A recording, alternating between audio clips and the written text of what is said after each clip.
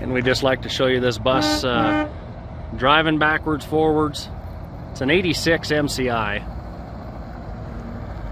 102A3 is the model. Pretty clean little bus, really.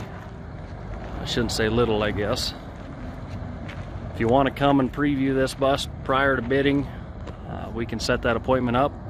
About 700,000 miles on this bus. It's a Detroit.